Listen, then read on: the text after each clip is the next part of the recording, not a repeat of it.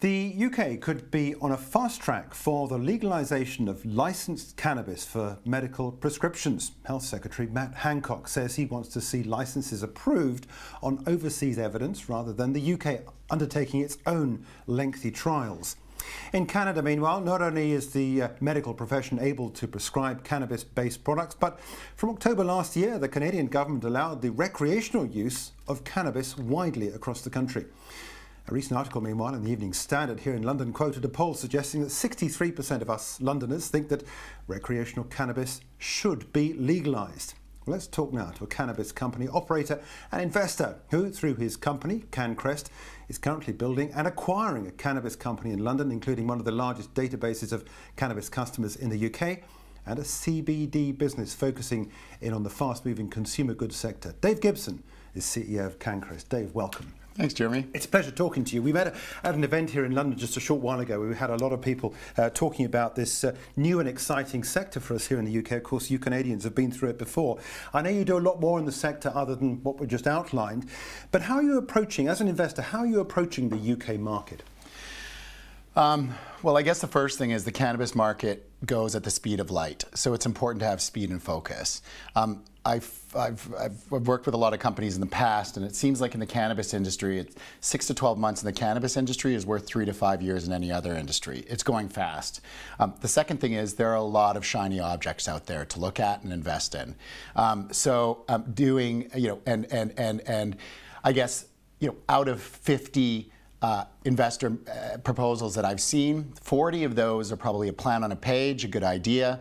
Um, five of those are, you know, a mom and pop operation without adequate experience to really scale an organization. Um, out of and the remaining five are actually legitimate businesses. Um, that have a little bit of revenue, that have um, some customers, that have some contracts. Um, their supply chain is is is, is getting there. Um, so I guess focus is really important. Yeah, you are British Canadian. I know you've been over here in, in, in, the UK for, for a while now, but having seen what's happened in Canada over what I believe is pretty much a 20 year period from the point at which I think pretty much where the UK is at the moment to this uh, legalising the recreational use last October, November time.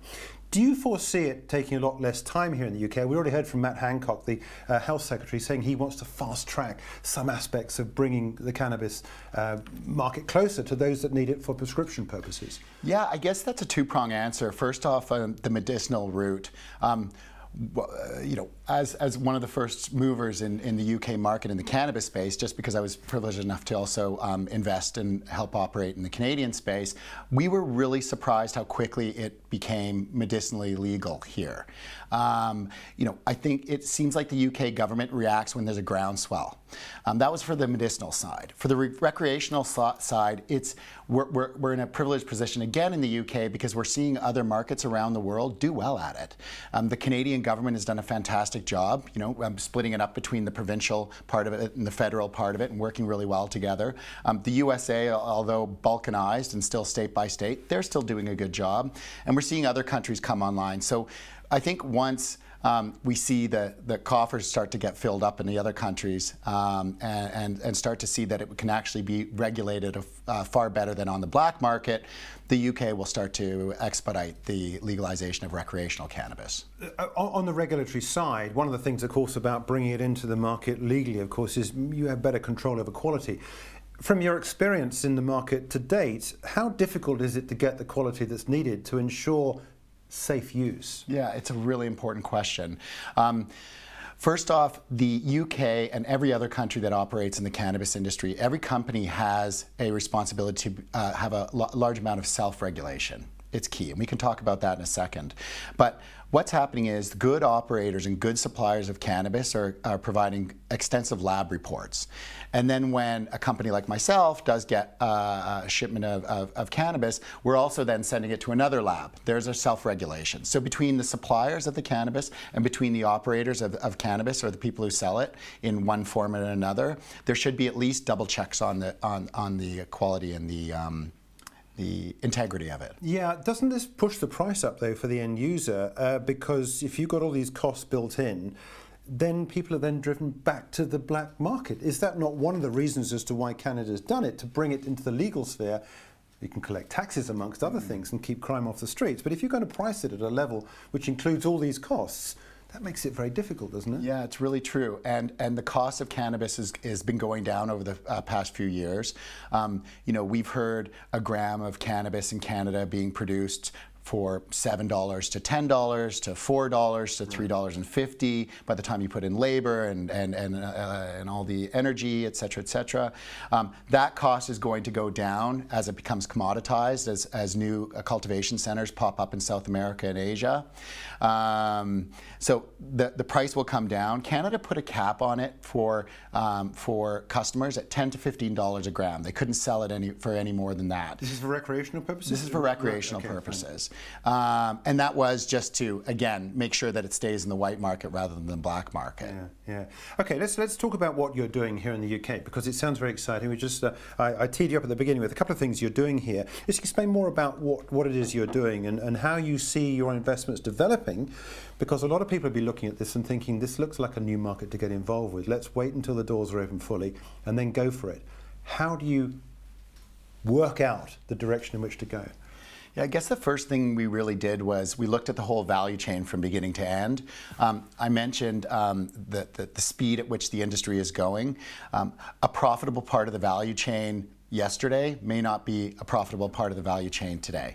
So where are we today? Um, and then we made a really big decision on whether we wanted to be a farmer or whether we wanted to be really close to the customer. You know, my team, having worked in a, a, the fast-moving consumer goods and the CPG space for so long, knew that we were good with customers. So that's where we chose to set up, was close to the customer. What about the, the, the, culture you're trying to build in this industry? Because uh, with a completely blank canvas, this is pretty much what we're at. What sort of image do you want to project? Yeah, well, I think I believe that we're all pioneers in this industry. Whoever's really starting it now or over the last X number of years, we're pioneers. So I think we have a responsibility and accountability to really set the standards. I mean, um, you know, giving back a proportion of our proceeds to planet. Um, making sure we have sustainable packaging, um, um, making sure a proportion of our proceeds go to people research. Um, you know, I mean, the sharing culture. I, I personally in my company do not want any resentment. So it's important to reward people adequately, um, treat people well, um, um, do deals and err on err on um, being uh, generous rather than stingy. Yeah, yeah, yeah. Um, make everybody happy because again, good name you got to get a good name for yourself. Um, I think that's an important principle of this industry that we're trying to build. Yeah, at the moment, of course, I mean, being an early stage investor, guess you're pretty much on it in your own. Uh, there are a couple of companies only listed here in the London markets. Do you aim ultimately to do that sort of thing? Because I, I, know in, in, in, Canada, I believe you own dispensaries. Is that right? Yeah. Um, I mean, this is these are all possible vehicles to be listed uh, on the market to to supply these um, uh, drugs into the market.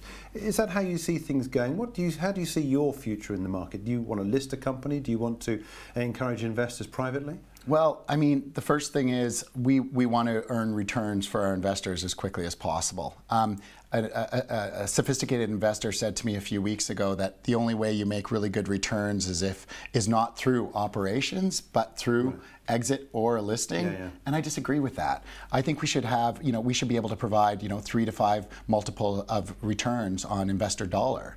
Um, you know, I mean, there, there, it's a good thing about this industry where there are a lot of opportunities to exit. You know, it's not just one industry that's looking to get into the cannabis game. It could be retail, it could be pharmaceuticals, it could be tobacco companies, it could be um, FMCG companies. I mean, so the options are abundant in terms of what you can, who you can exit with. But again, this industry right now, I'm not seeing a huge amount of fantastic operators, which is which is quite paradoxical. So good operators and good companies should be returning back a three to five. Yeah. Uh, in, in, in funny, in North America, you heard this 10 to 20 multiple.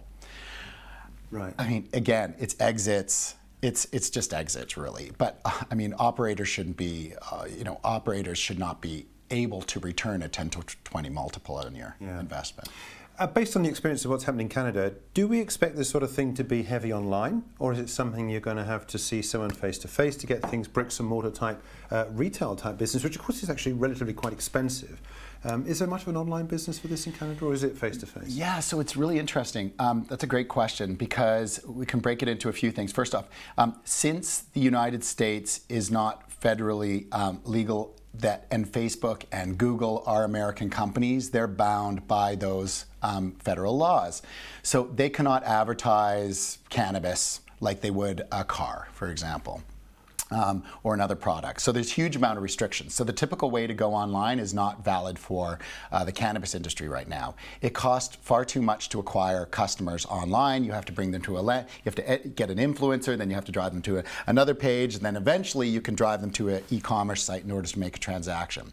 So I don't think the e-commerce, the direct um, acquiring customers online is, is, is very viable. Then we can go to a marketplace strategy. Again, you look at a, a, Amazon type. You can't advertise it as CBD. You have to say hemp product. Um, now, I know there's a lot of companies that are trying to make that play for uh, uh, cannabis marketplaces right now. Um, we decided not to because you know when Amazon does open their doors and it does become federally uh, federally okay for Amazon to um, make a play for the cannabis industry, they'll crush the competitors and just cost too much to get those customers um, on your own little um, marketplaces to build.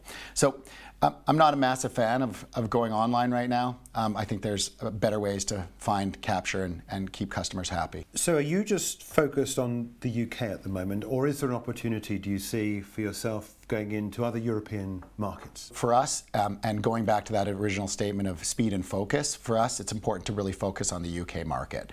I know other companies that are trying to expand all over Europe very quickly, but beware of that because um, uh, uh, countries are different um, regulatory wise, um, political environments are different. Um, it really does stress your, and stress and stretch your operations trying to get in too many places in a short period of time. Um, they may reflect that in their forecasts um, in terms of expansion into other countries. Um, and good luck, but uh, for us, it's focus, focus, focus on the UK. Dave, we've got to leave it there, but thanks indeed for joining us. Uh, Dave Gibson is the Chief Executive of CannCrest.